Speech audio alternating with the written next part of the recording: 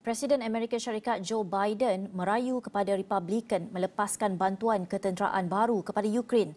Beliau turut memberi amaran bahawa kemenangan untuk Rusia ke atas Ukraine akan menyebabkan Moskow dalam kedudukan menyerang sekutu pertubuhan Atlantik Utara NATO. Kenyataannya menyusul ketika mana Amerika Syarikat merancang untuk mengumumkan 175 juta dolar sebagai bantuan tambahan kepada Ukraine sesudah bekalan kewangan Kiev semakin berkurangan. Make no mistake, today's vote's going to be long remembered, and history's going to judge harshly those who turn their back on freedom's cause. We can't let Putin win.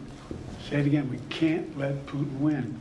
It's in our overwhelming national interest and international interest of all our friends.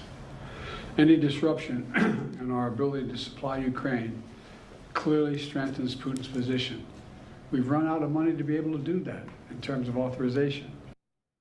Minggu ini White House mengumumkan Washington sudah kehabisan masa dan wang untuk membantu Ukraine menangkis pencerobohan Rusia.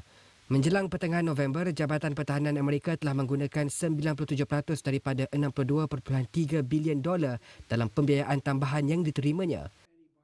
Pengarah Belanjawan Amerika, Shalanda Young berkata Jabatan Negara telah menggunakan semua 4.7 bilion dolar dalam pembiayaan bantuan ketenteraan yang telah diperuntukkan.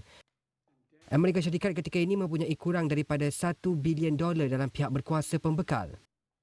Ini bermakna jika Kongres tidak menyediakan dana baru untuk membeli peralatan gantian dan Pentagon kehabisan dana, mereka boleh memprogram semula bagi memastikan kontrak korporat mengalir. Amerika, Ukraine dan pembuat senjata mungkin terpaksa mengambil langkah lain untuk mengisi semula stok. Amerika ketika ini mengutamakan keselamatan sempadan dengan Mexico daripada pembiayaan Ukraine dan Israel.